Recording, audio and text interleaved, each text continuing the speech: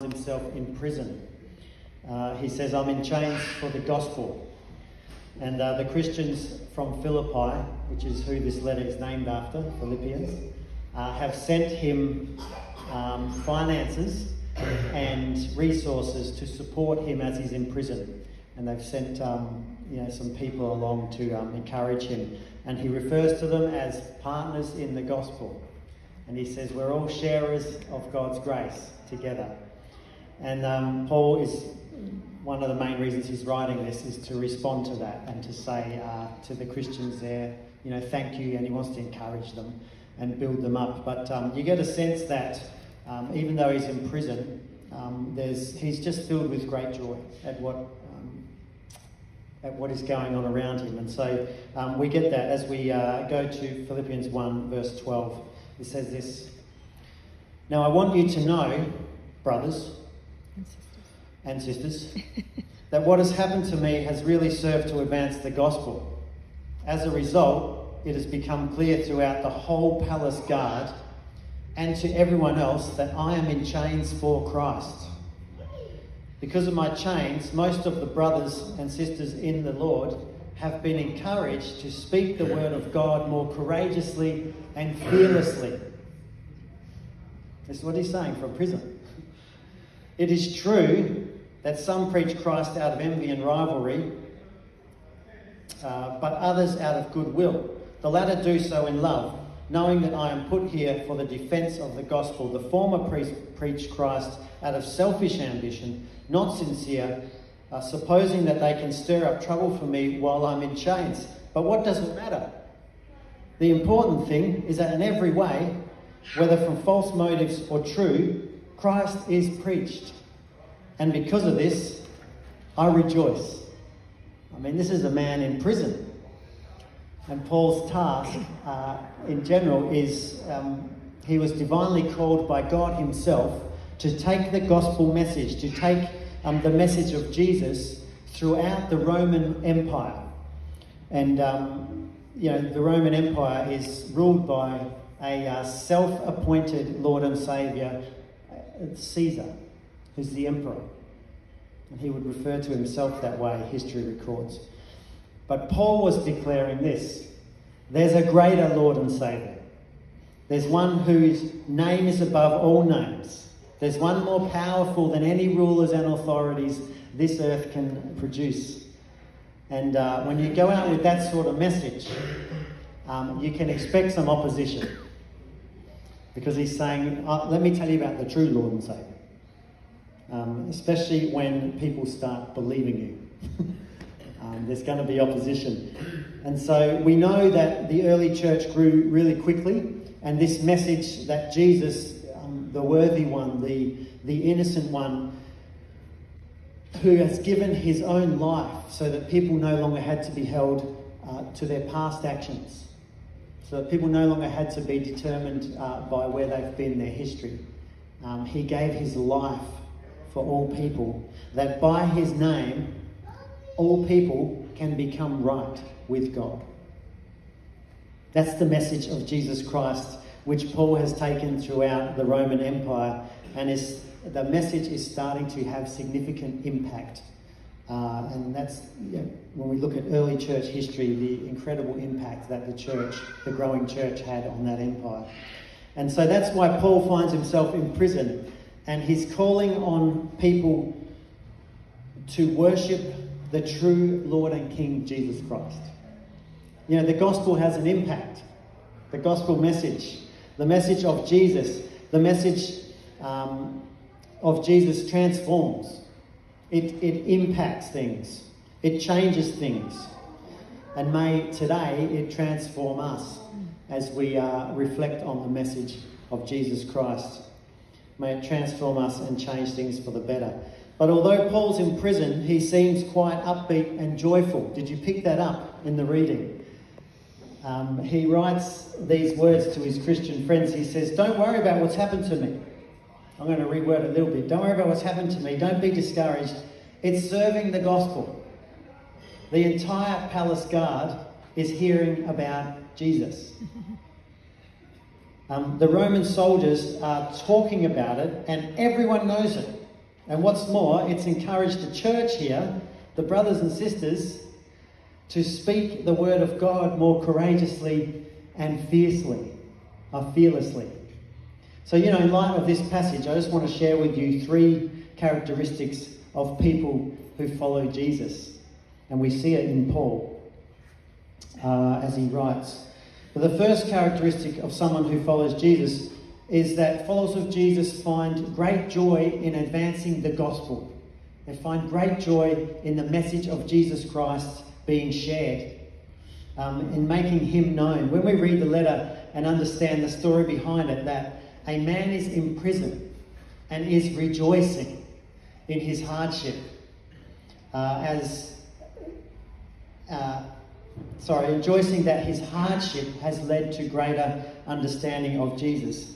Uh, we get a sense that the advancement of the gospel is his number one priority.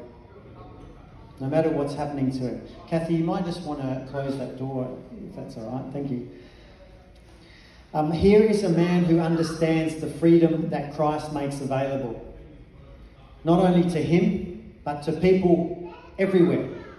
This is a man, Paul, who wrote in Galatians. He wrote, he's written quite a few letters uh, in the scriptures. He wrote in Galatians, It is for freedom that Christ has set you free. And in Ephesians, he writes this It is by grace that you have been saved. It's a gift from God. And in Romans, he writes again, Therefore, there is now no, listen to this, there is now no condemnation for those who are in Christ Jesus. Because through Christ Jesus, the law of the Spirit who gives life has set you free from the law of sin and death. That's the writings of Paul. No wonder Paul is excited that the message is being advanced. Uh, we all share in this same grace. We share as of grace together. This same message of freedom, we share it together. You know, God calls us to share this message with our community. It's a message of forgiveness and freedom. It is a message that can change human hearts. There's nothing more beautiful than seeing the message of God's unconditional forgiveness soak deep within someone's heart. Even into the darkest, uh, the hardest of hearts. And, and to start to melt and transform the person from the inside out. It is a beautiful thing to witness. And then that person becomes a bearer of the news, a witness to the life transforming message. You know, we should never forget or become complacent about what we're here to do. The church is an outward focused movement. Whether we are expect, experiencing hard times or facing gospels or not, we are here to tell a dying and lost world that there is life and freedom to be had. And no matter what trials or obstacles come our way, we are to point people to Jesus, in whom there is life and freedom. So, the second characteristic of people who follow Jesus is that people who follow Jesus have eyes to see where God is at work in every situation, even when they face adversity and opposition. That's what we see in the witness of Paul here. When a situation looks like defeat, God can use it for a great victory. As followers of Jesus, we learn to see what God is doing in every situation. And if we think of that concept, we see that ultimately play out with Jesus on the cross. What looks like a defeat ends up being God's greatest victory. God has a way of doing that. And in Paul's situation, we see that Paul was sent on mission and was called by God to travel from town to town and spread the message of Jesus Christ.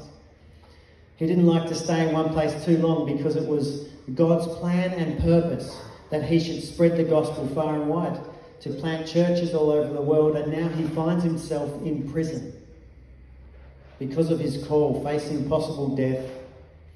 You know, he could have fallen into self pity.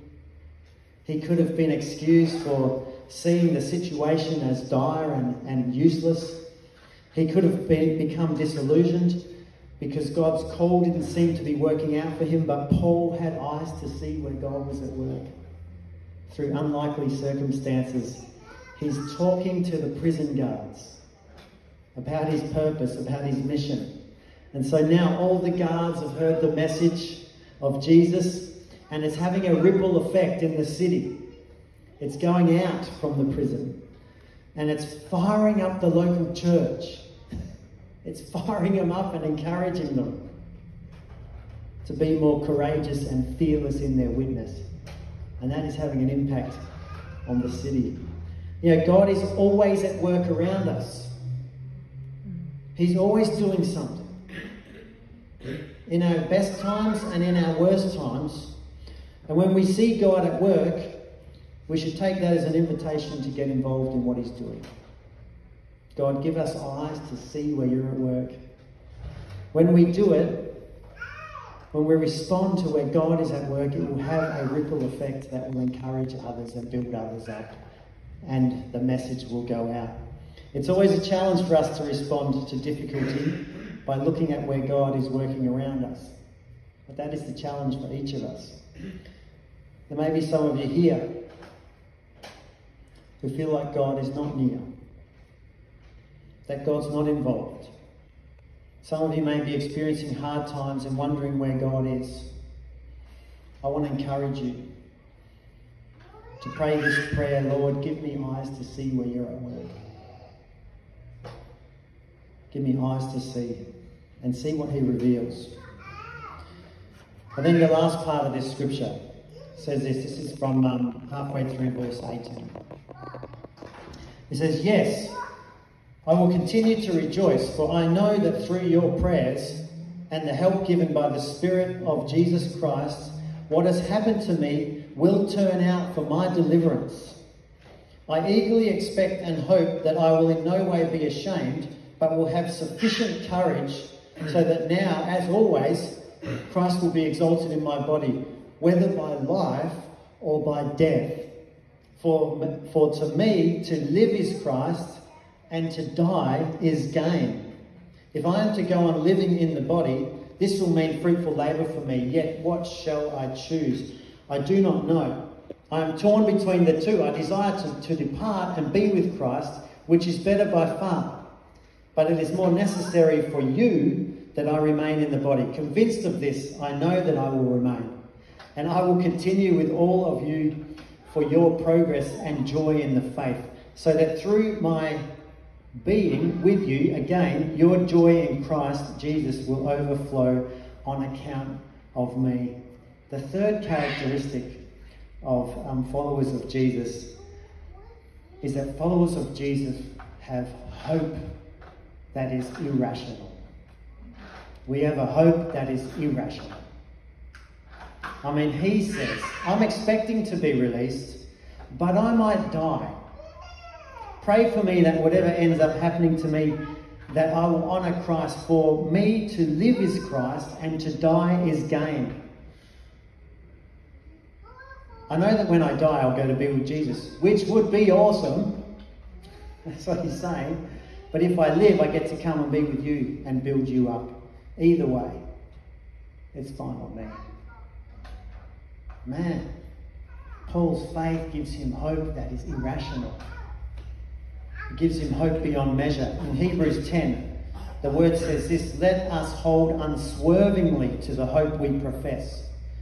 For he who promised is faithful. The God who promises the hope we have, he is faithful. Here's a man who is able to say, whether I live or die, I'm centered on Jesus Christ. I'm facing him all the way. My eyes are fixed. And that is a deep, deep faith to be able to say that.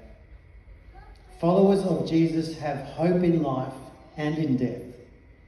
You know, we have a hope of future glory when we will one day see God face to face in his full glory. But the thing about future glory that God promises is that it can be found here and now in Jesus Christ. It is found in Jesus Christ, the risen Lord. The moment we turn to him, that moment we accept his amazing love and forgiveness, then we have a hope that is irrational. Doesn't stand up to the reasoning of this world. It is beyond that. And so, in a moment, we're going to sing um, a song that's called uh, What a Beautiful Name It Is. It talks about the name of Jesus. Now, God wants to be known by all people. That's the exact reason He sent Jesus. In Jesus Christ, we see who God is.